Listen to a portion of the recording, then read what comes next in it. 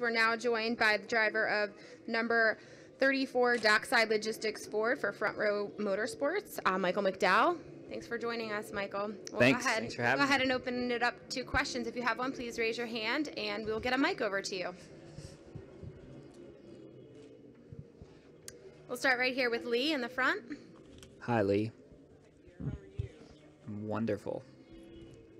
Lee Spencer, RacingVoice.com. Um, everybody else, we're asking them about the package and how it feels to have the horsepower pack. How was your first practice? Yeah, it was fun. Um, you know, we had the horsepower back, like you said, but a lot more downforce, and uh, you had to really push yourself to go that fast. Um, you know, you're just muscle memory, and you're used to having some lift points and brake points, and you just had to really push yourself. At least I did um, to get uh, that that speed out of it. I mean, we're going around here so fast right now. Um, it was uh, it was fun. You know, I I was joking with my crew chief Drew Blickensderfer. He um, first run I felt pretty balanced, and then I looked at the speed and I saw I needed to pick up like a half second, and I said, "Oh, it's not balanced now." um, you know, when you got to push it that hard and take it to that next level, um, you know, it's it's fun that, to see if you can do it and push yourself to that that point. Yeah, there's a ton of grip out there. Um, you know, obviously the the downforce is a big part of that, and, and cool temperatures this morning, and, and cloud cover and all that. It's kind of like the perfect storm. Um, but you know, as we get rubber on the racetrack, and as the sun sits on it during the day here, you know, it, it'll definitely uh, get a little bit slick.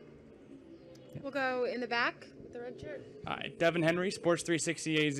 Hey, how's it going? Good. How about you, man? Good. I think we talked earlier Yeah. this year, right? Yeah, a couple weeks ago. yeah. man. See, I got a good memory. Thank you. I appreciate Yeah. that. No.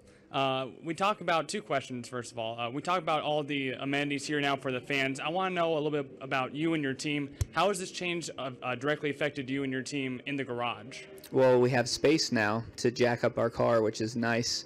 Um, you know, the old garages, you'd have to use a, a short jack because you'd be hitting the door of the guy next to you as you're trying to get your car up on scale. So, um, just be able to breathe a little bit and, and have all your equipment there and be able to uh, to work in a somewhat uh, controlled environment is nice. Uh, you know, and, and for me personally, I was always worried about knocking a fender off, getting in and getting out of your your garage, um, just because it was so tight.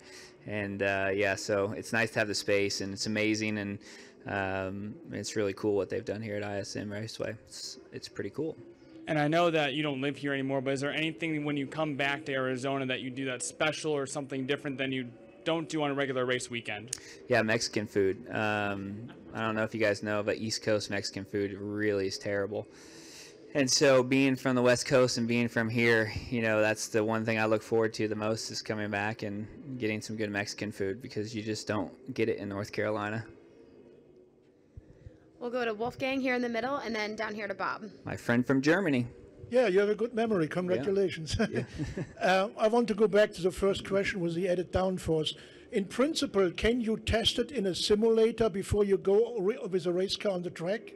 Is that- Yep. Yeah. So you can, um, you know, obviously a lot of the manufacturers, all the manufacturers have simulations and simulators. So I was able to spend some time this week uh, getting prepared. But the thing about simulator that you still can't duplicate is it, it doesn't hurt when you hit the wall.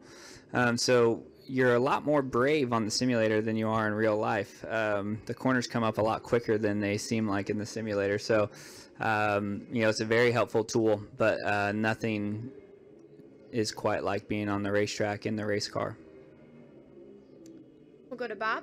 Bob Pockrass, Fox Sports. Are the faster speeds because of more downforce or the different tire?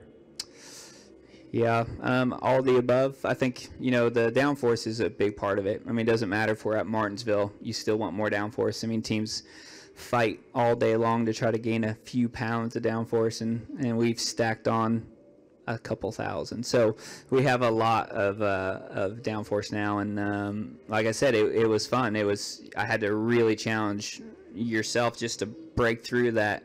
You don't have to slow down; it's going to stick. Um, and so the entry speeds are, are pretty significant.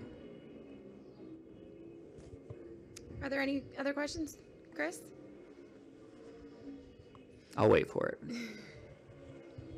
Chris Mann, CatchFence.com. Michael, um, I know you guys got started off the year on a good foot, but you guys have backed it up at Phoenix, or uh, uh, Atlanta and Las Vegas who get qualifying runs, but even Yeah. you haven't had the finishes you want, what's different at Front Row Motorsports that has allowed you guys to come out of box swinging with so much speed?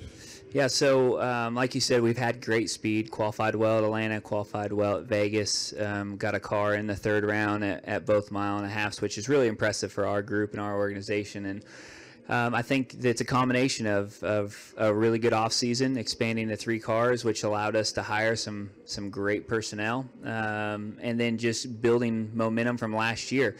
Um, you know, at the end of last year, we were starting to sneak into that uh, you know low 20s, teens more consistently, and we were able to carry that momentum into um, you know into 2019. And and obviously, this rule package is.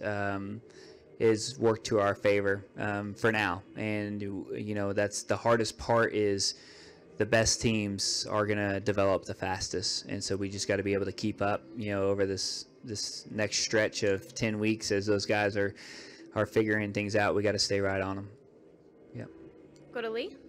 Lee Spencer, you, you mentioned Drew, and I saw the two of you conferring after the after practice. And what is it about the two of you and the chemistry? It, it seems like you guys are, you know, just clicked right away. Yeah. So I have. Um, I'll be careful how I say this because I don't want to be one of your sound clips for this week. Um, I've watched Drew from a distance for years, and um, and I've I've pursued him the last four, and um, you know I just knew that that's the kind of guy that I'm looking for, personality-wise, fire, spark, leadership.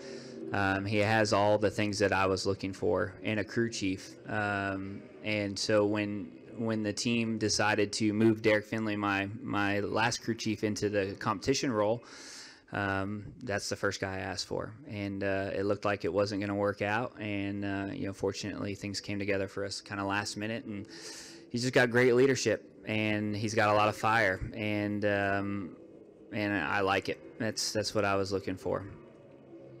Yep. All right. Are there any other questions? All right. Thanks, Michael. Good luck this weekend.